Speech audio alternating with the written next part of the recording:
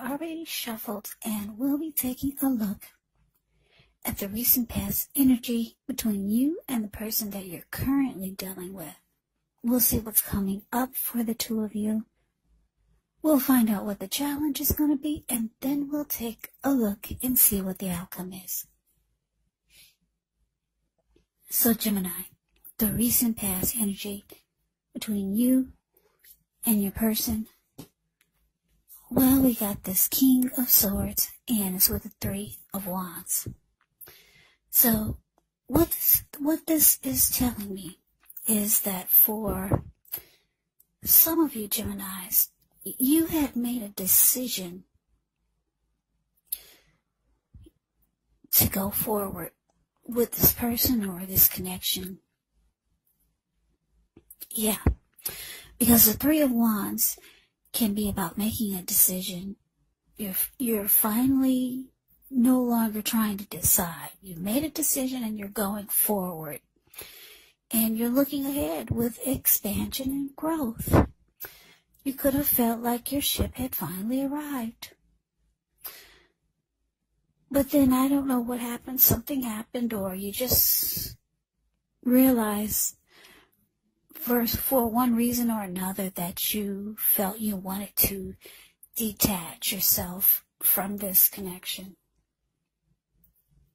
Because the King of Swords can be a very detached type of energy, very closed off.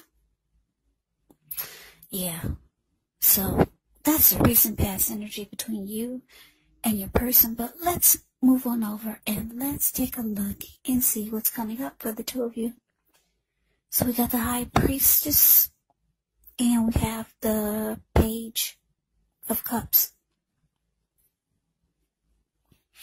So like I said, you realize that it's time to detach yourself from this person or cut this person out.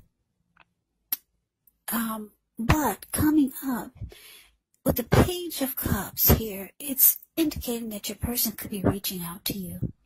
Page of Cups can be a very playful, uh, happy type of energy. Whenever you hear the word page in the tarot, that can indicate a student. It can indicate youth, immaturity, or someone that's maybe younger than you. So for some of you, your person could be younger by a few days, a few months, a few years. Um, for, and yes, for some of you, maybe even a few decades. Yeah. So there could be a level of immaturity here. And this could be one of the reasons why you feel you need to detach yourself from this connection. But with the high priestess here, the person is very drawn to you or they could feel a, a, mag, a strong magnetic pull. Because high priestess can be about people being drawn to you male and female. Um, all of a sudden finding you far more attractive in terms of both friendship and romance.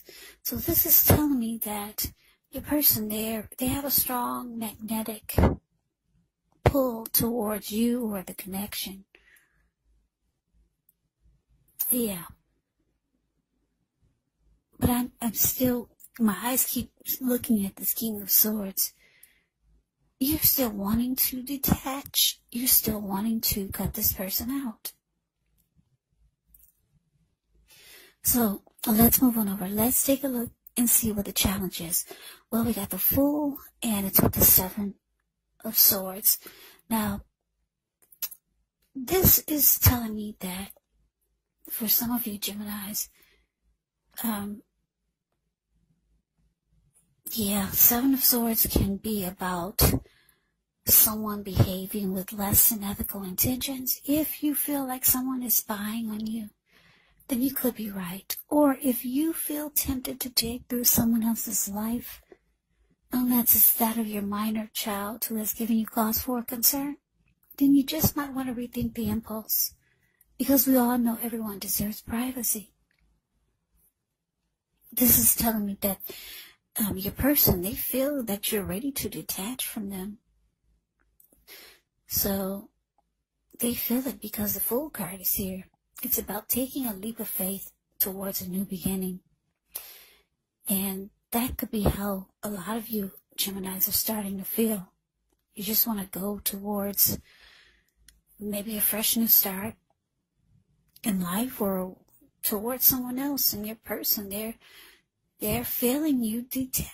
They're feeling that you're ready to detach yourself from this connection. So they could be doing a lot of stalking you, trying to figure out what's going on.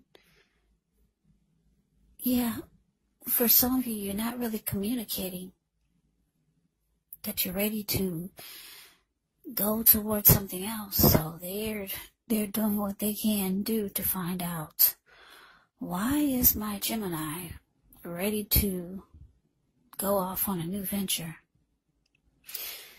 So that's a challenge. Now let's move on over and let's take a look and see what the outcome is. So we got the Three of Cups ends with the Three of Pentacles. Now the Three of Cups can be about some type of great celebration, really happy, come together.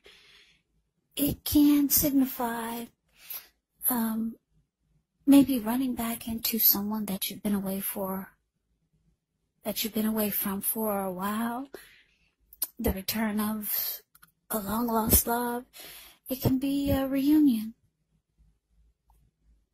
Or it could be some type of celebration.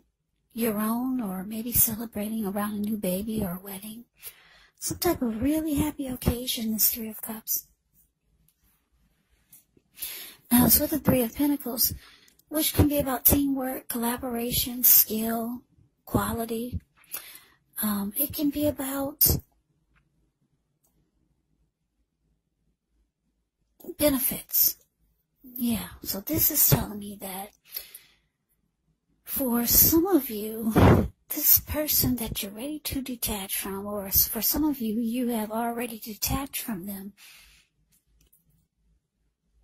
And for some of you, this person could be trying to come back towards you with the Three of Cups here like I said, this person, they're very drawn to you. They could be really attracted to you. They feel this magnetic pull about you towards the connection. They could be coming back or trying to come back if you've already cut them out. Yeah.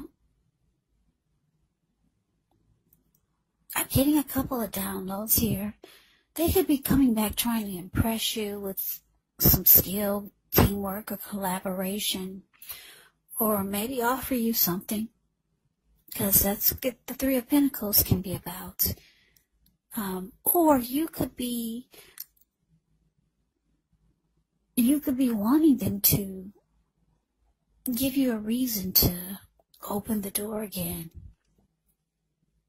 You could be wanting them to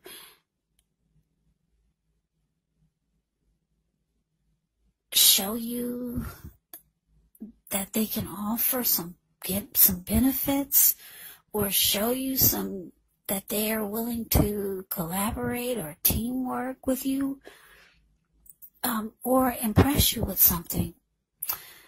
Yeah, you're looking for something more than what they've been bringing to the table. So the Three of Pentacles can be about some benefits. So I'm just getting that you need more. They didn't bring enough to the table. But they could be trying to make a return. Three of Cups is a is a coming back reunion. So that is everything that I have for you. Gemini, I hope you enjoyed the reading.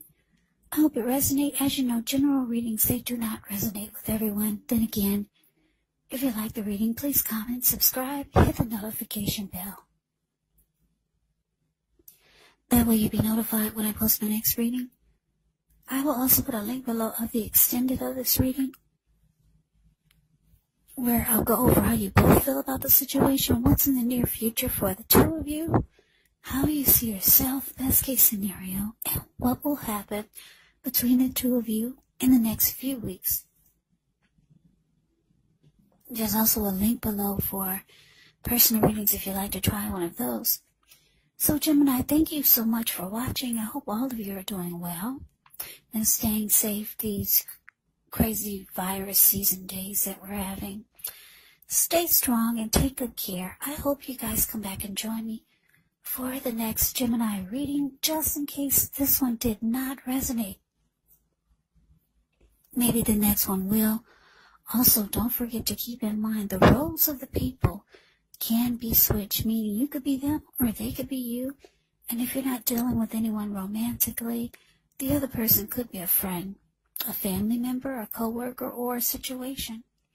So just take the reading for however it resonates because once again, these are general readings. They are not personal readings. So Gemini, I can never say it enough. Thank you so very much for watching. I hope you have a great day. I hope to see you at the next reading and take care.